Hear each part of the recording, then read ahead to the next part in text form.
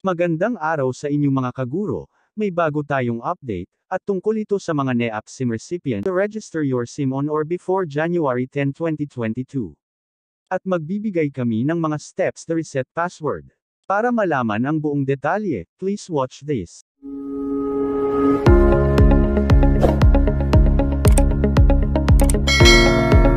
NEAP SIM latest update.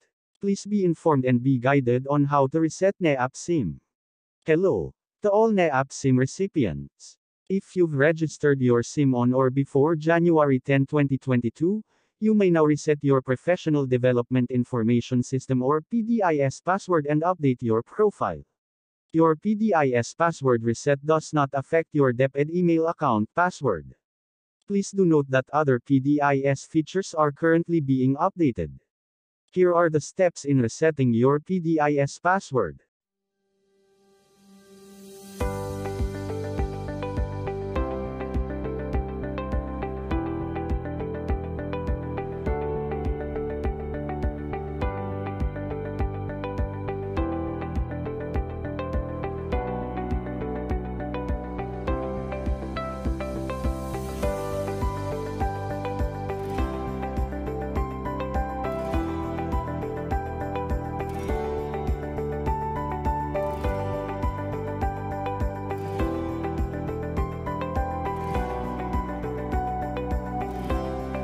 Visit and like the official Facebook page of NEAP and be updated with the latest professional development opportunities. Warm regards from your NEAP family. Ang source po ng ating update ay ang NEAP.